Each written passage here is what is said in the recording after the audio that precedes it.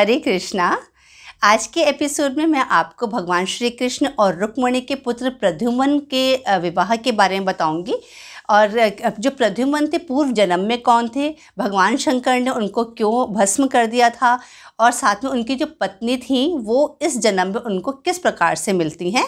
ये बताऊँगी। और साथ में भगवान श्री कृष्ण का जो विवाह एक जामवंती से हुआ था और एक सत्यभामा से हुआ था तो वो कौन से कारण बने थे जिसकी वजह से भगवान श्री कृष्ण को जामवती और सत्यभामा से विवाह करना पड़ा था? और अब आ, इसके बाद जो नेक्स्ट एपिसोड होगा उसके अंदर भी मैं आपको भगवान श्री कृष्ण के जो अनेकों विवाह हुए थे उनके बारे में ही बताने वाली हूँ। और लास्ट के लास्ट में मैं आपको विष्णु कोश बताऊँगी। विष्णु कोश के अंदर आज मैं आपको शिशुमार चक्र के बारे में बताऊँगी। तो मैं स्टार्ट करती हूँ। श्री सुखदेव जी कहते हैं, परीक्षित, कामदेव भगवान वासुदेव के ही अवतार हैं। भगवान जो जो कामदेव थे, वो वासुदेव भगवान के ही अवतार थे। कामदेव जी भगवान शंकर के क्रोध से भस्म हो गए थे। वे ही कामदेव अब की बार भगवान श्री कृष्ण के द्वारा रुक्मणी जी के गर्भ से उत्पन्न हुए और प्रद्युमन नाम से प्रसिद्ध हुए थे। इसका मतलब प्रद्युमन जो थे, वो पिछले, उससे पूर्व जन्म में वो कामदेव थे।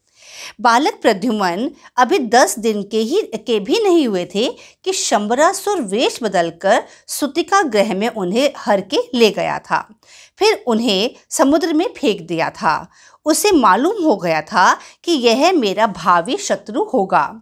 समुद्र में बालक प्रद्युमन को मच्छ निगल गया। उसके बाद एक मछुआरे ने उसे अपने जाल में पकड़ लिया। भगवान की लीला अनंत है। इसलिए वह मछुआरा उस मछ को पकड़कर शमरासुर को भेंट करने ही पहुँच गया। शमरासुर के घर पर रसोईया उस मगरमच्छ को ले गया और उसे काटते हुए उसके पेट से उसने, उसको वह बालक मिला। उसने वह बालक शंबरासुर की दासी मायावती को समर्पित कर दिया। तब नारद जी ने आकर उस दासी को बतलाया कि यह बालक कामदेव था। वह उसका नाम, उसका जन्म श्री कृष्ण और रुक्मणी के पुत्र के रूप में अब यहाँ पर हुआ है। वह शंबरासुर ने उसे समुद्र में फेंक दिया था। पूरी बात सुनकर दासी अचंभित हो गई। क्योंकि वह दासी स्वयं कामदेव की पत्नी रति ही थी। जब शंकर जी ने कामदेव को भस्म कर दिया था, उसी दिन से वह उनके देह का फिर से जी के जन्म होने की प्रतीक्षा कर रही थी। श्री कृष्ण के पुत्र प्रद्युमन कुछ ही समय में जवान हो गए। अब रति का हाव भाव उसको प्रियतम की तरह से देखने लगा। तब प्रद्युमन जी ने उनसे कहा कि आप तो मेरी माता के समान हैं। तब रति ने, रति कौन थी जो पूर्व जन्म में रति थी, वो इस जन्म में शमरासुन की दासी बनी थी, जिसका नाम मायावती था। तो जो रति थी जो दासी थी असल में उनको इस आ, सब बातें जो नारद जी ने आकर कहे थे उन्होंने प्रद्युमन को सुना डाले।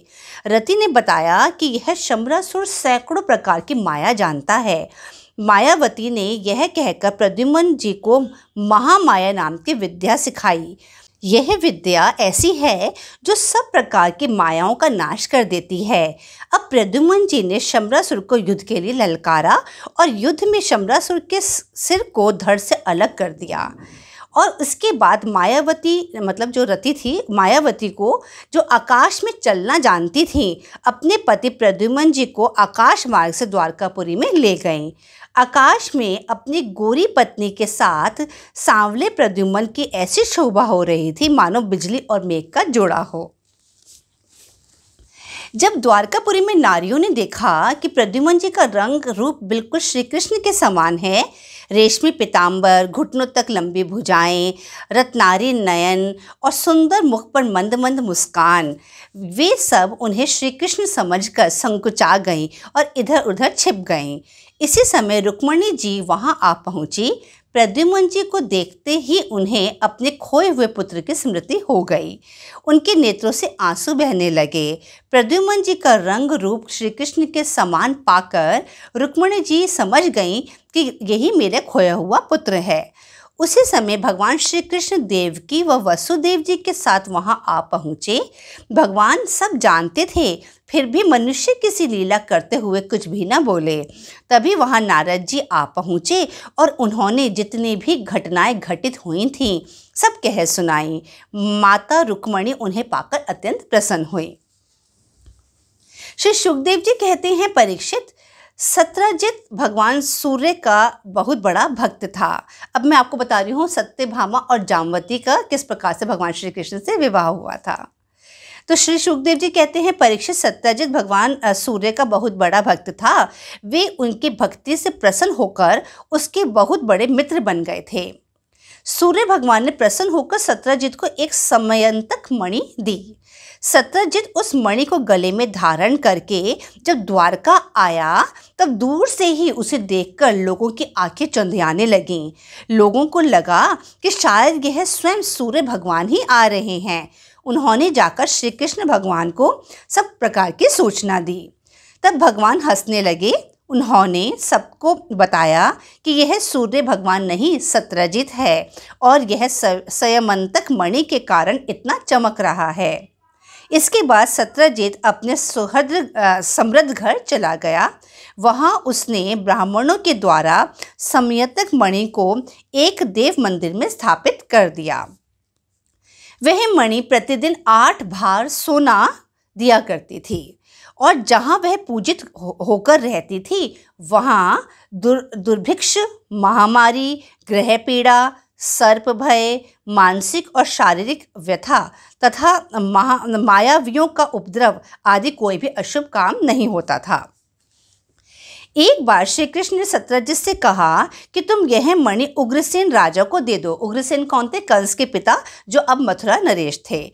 उनको, यह मणि उनको दे दो। परंतु उसने उसको अस्वीकार कर दिया। एक बार सत्यजित के भाई प्रसेन ने उस परम प्रकाश में मणि को अपने गले में धारण कर लिया और घोड़े पर सवार होकर शिकार खेलने वन में चला गया। वहाँ एक सिंह ने प्रसेन को व घोड़े को मार दिया।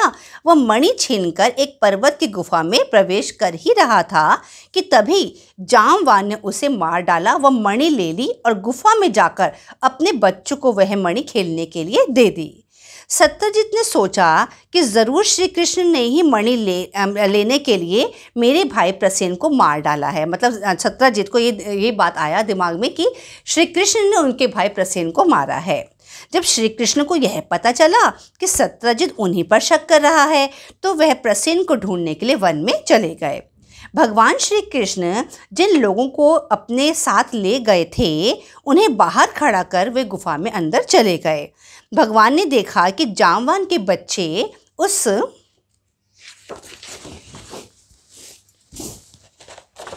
मणि से खेल रहे हैं। जामवान श्री कृष्ण को पहचाने नहीं, उन्होंने श्री कृष्ण से युद्ध करने श्री कृष्ण को युद्ध करने के लिए ललकारा। दोनों के बीच 28 दिन तक युद्ध चलता रहा। वह अंत में जामवान का शरीर टूट फूट गया।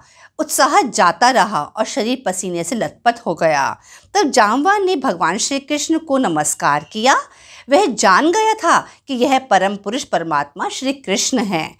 अपनी गलती का एहसास से शुद्ध होकर जामवान ने अपनी कन्या कुमारी जामवती को मणि के साथ भगवान को ही सौंप दिया।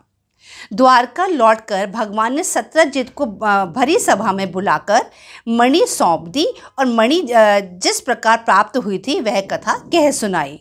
सत्रजित को अपने किए पर व सोच पर बहुत पछतावा हुआ। उसने मणि समेत अपनी कन्या सत्यभामा को भगवान श्री कृष्ण को सौंप दिया। भगवान ने जामवती व सत्यभामा का विधि पूर्वक पाणी ग्रहण किया। परंतु सम्यतक मणि को सत्राजीत को लौटा दिया और कहा कि आप केवल इस मणि से निकला, सोना ही हमें दे दिया करिएगा। श्री सुखदेव जी कहते हैं परीक्षित, यद्यपि भगवान श्री कृष्ण को इस बात का पता था कि लाक्षा ग्रह की आग में, आग से पांडवों का बाल भी बाका नहीं हुआ है, फिर भी जब उन्होंने सोचा कि कुंती और पांडव जल मरे, तब उस समय का, उस समय का व्यवहार करने के लिए वह बलराम जी के साथ हस्तिनापुर गए। भगवान के हस्तिनापुर चले जाने से द्वारका में अक्रूर जी और कृतवर्मा को अवसर मिल गया कि सत्रह जिससे मणि को हर लिया जाए। इसके लिए उन्होंने शतधनवा को तैयार किया। अक्रूर और कृतवर्मा के बहकावे में शतधनवा ने सोए हुए सत्यजीत को मार डाला। मतलब सत्य सत्यभामा जो थे, उनके पिता जो सत्यजीत थे, उसको अक्रूर जी और कृतवर्मा के कहने पर शतधनवा ने मार डाला था और समयत तक मणि लेकर वहाँ से चंपत हो गया। सत्यभामा जी अपने पिता सत्यजीत की मृत्यु से बहुत दुखी हुई। यह जानकर श्री कृष्ण के साथ बलराम जी हस्तिनापुर से लौट आए और शतधनवा को मारने तथा उससे मणि छीनने का उद्योग करने लगे। जब शतधनवा को यह पता चला कि श्री कृष्ण के हाथों वह मर सकता है तो वह कृतवर्मा के पास सहायता के लिए गया। तब कृतवर्मा ने सहायता से इनकार कर दिया। फिर वह अक्रूर जी के पास गया, किंतु उसने भी भगवान के डर से उसकी कोई मदद नहीं की। तब शतधनवा ने वह समय तक मणि अक्रूर जी के पास रखवा दी, वह स्वयं घोड़े पर सवार हो बहुत दूर निकल गया। परंतु भगवान श्री कृष्ण ने उसका पीछा किया व अपने चक्र से उसका सिर अलग कर दिया। भगवान ने देखा कि समयंतक मणि तो उसके पास है ही नहीं, तब वे वापस द्वारका आ गए। जब अक्रूर व कृतवर्मा को पता चला कि श्री कृष्ण ने शतधनवा को मार डाला है, तब वे दोनों डर कर द्वारका से भाग खड़े हुए। अक्रूर जी शफल्व के पुत्र थे शफल्क के लिए ऐसा कहा जाता है कि वे जहाँ भी जाते थे, वहाँ वहाँ महामारी व उपद्रव नहीं होते थे। इसी कारण एक बार काशी नरेश के राज्य में वर्षा नहीं हो रही थी, तब उन्होंने शफल्क को अपनी कन्या ब्याह दी थी। उसके बाद उनके राज्य में वर्षा होने लगी थी। इसी प्रकार अक्रूर जी का भी प्रभाव था। इसी कारण भगवान श्री कृष्ण ने अक्रूर जी को ढूंढवाया और पास बुलाकर बात बात की, क्योंकि उनके राज्य में भी अक्रूर जी के जाने से शारीरिक व मानसिक कष्ट लोगों को होने लगे थे। उस दौरान बलराम जी मथुरापुर चले गए थे। वहाँ दुर्योधन ने बलराम जी से ही गदा युद्ध की शिक्षा ग्रहण की थी। भगवान श्री कृष्ण ने अक्रूर जी से कहा, चाचा जी, हमें इस, यह बात मालूम है कि संयमंतक मणि आपके पास है। सत्रजित के पुत्र, कोई पुत्र नहीं है तो यह मणि उसकी पुत्री सत्यभामा के पुत्रों की ही होनी चाहिए। तब अक्रूर जी ने वह मणि श्री कृष्ण को लौटा दी।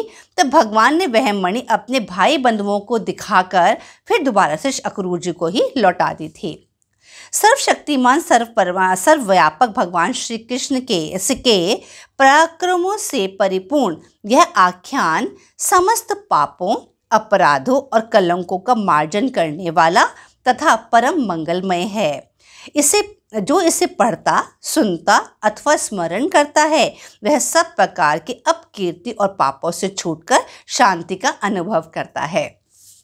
तो इस प्रकार सत्यभामा और जामवंती का विवाह भगवान श्री कृष्ण से हुआ था और ये सयमंतक मणि की जो कहानी है, ये भी बहुत इंटरेस्टिंग है।